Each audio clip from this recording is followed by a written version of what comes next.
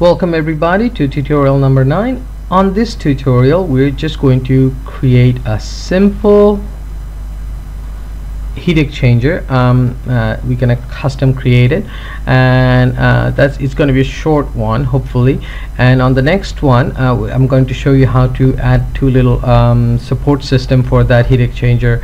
And uh, hopefully also how to add your heat exchanger as a as a uh, equipment into your system or your drawing. So let's get started. So um, everybody should have this structure going on right now including the pipes and the tank.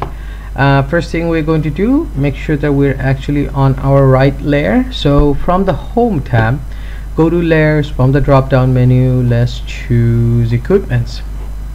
Perfect. And now what we're going to do just select only your uh, the grid. And under again home ribbon and visibility go ahead and click on hide others. Perfect.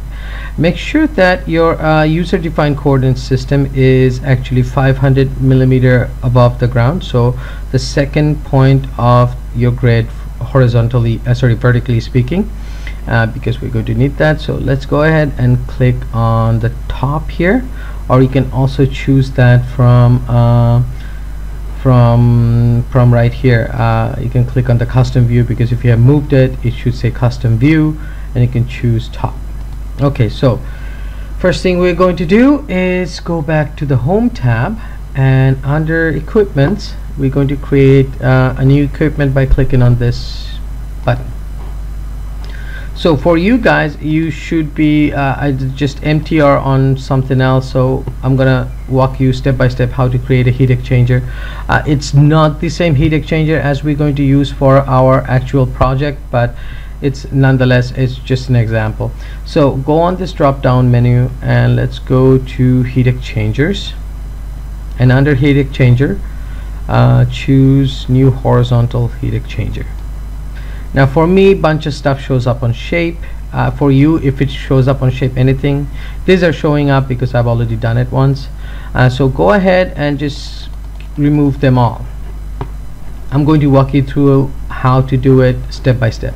So you should all you all of you should be on this page right now under heat exchanger and uh, nothing under the shape. So go ahead and click on the add button.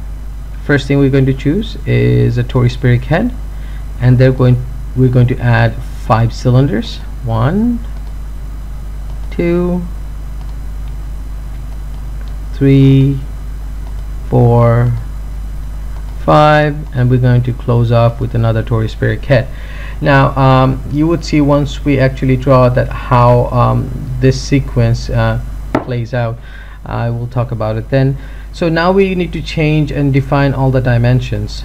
So for the Torispherical kit, select the very first one and let's change the diameter to 500.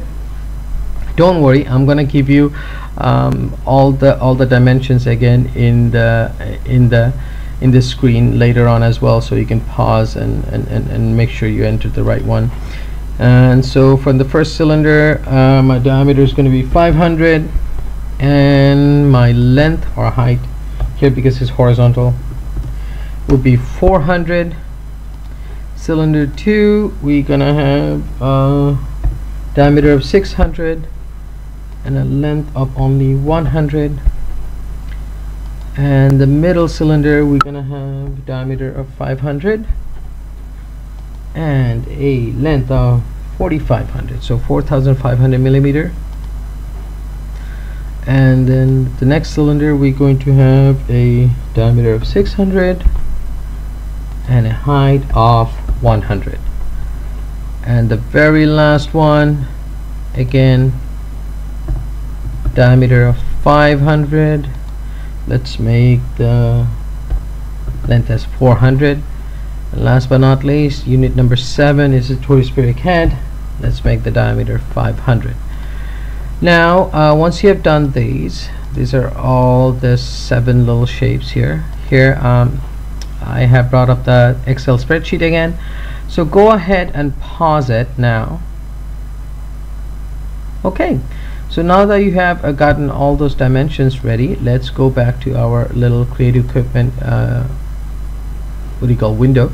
And under the general go ahead and click on tag and we're going to assign the number one press enter and the elevation we're going to uh, enter as 1000 millimeter. That means uh, from our first uh, platform it should be 1000 millimeter um, in the air. So go ahead and click create. Now uh, approximately put it just where I am putting it right now doesn't really matter exact location but just try to do it as much uh, close to okay so that's good enough. And the rotation we'll keep it at zero degrees press enter or right sorry left click again. That should be it. Okay let's take a look now how it looks. Okay let's go back to SW isometric view and we'll select our orbiter. Ah here is a problem I can see so for some reason AutoCAD is thinking I'm talking from the bottom. But I'm not even though my user defined uh, coordinate system is there. So all we're going to do is we're going to select our little little um, what do you call heat exchanger and start typing move. Then it's going to ask you to specify a base point. I'm going to specify that one and take it to that one. Now let's select our oh there we go. Select our little thing again uh, heat exchanger and if you don't have this properties window just start typing properties and open this window and let's see what it says on its um, elevation. Okay. See this is the this is this is the problem here. Uh, it still says 500 uh, but we know that it's not uh, AutoCAD sometimes acts up. So for now that's all we're going to do. Uh, let's show all so we can see where it's exactly situated. So you guys can use it as a reference. As you can see it's kind of floating in the air. On the next video we're going to create two little support systems for it. Um, really two boxes so it can hold it up. Um, either the manufacturer of that of that little heat exchanger would uh, provide you guys with the design of a support system or you will have a structural engineer uh, doing it. So okay that's all for uh, this video. I will see you guys next time